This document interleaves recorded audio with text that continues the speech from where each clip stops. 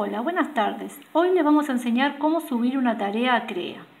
Lo primero que tenemos que hacer es ir día a día, ¿no? ¿no? Para no atrasarnos. Yo en este caso voy a entrar a una carpeta cualquiera del día 25, por ejemplo, y vamos a ver que tenemos actividades. En este caso, cuando tenemos las hojitas, es simplemente para leer o hay un video o hay algo para, para presentarles a ustedes. Y cada vez que vean una hojita con un lápiz es una tarea para entregar. ¿Cómo la entregamos? Tenemos que entrar a la actividad, generalmente está toda escrita la actividad acá para poder hacerla, ¿verdad?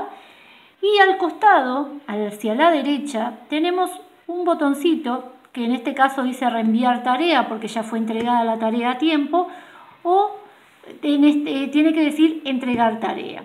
¿Qué tengo que hacer?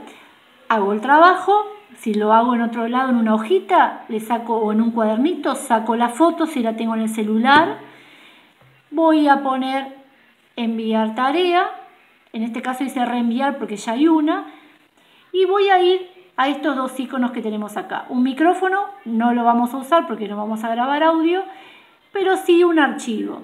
Si estoy desde el celular, subo el archivo, la foto que saqué del celular.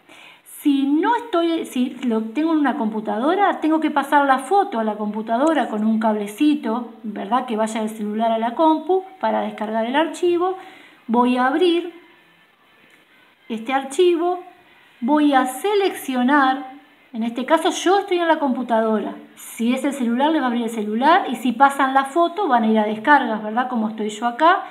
Y vamos a buscar el trabajo que tenemos que hacer para entregar.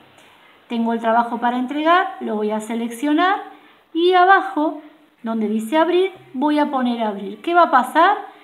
Va a empezar a cargar el archivo y cuando cambia de color, que está completo, quiere decir que la actividad está, está subida. Como en este caso, y acá abajo escriben, se entregó la tarea y simplemente van a poner enviar y nos va a llevar la tarea a nosotros. Yo no lo voy a hacer en este caso porque no es el aula de mi clase. ¿Qué otra forma tenemos? Vamos a reenviar tarea o a enviar tarea, perdón, porque acá ya está enviada. Y en este espacio que tenemos acá, hago clic y me pongo a escribir la tarea. Por ejemplo, si es ordenar números, ordeno números.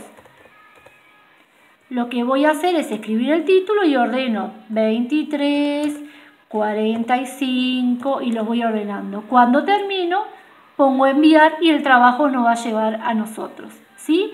Cualquiera de esos dos pasos pueden hacer para entregar la tarea.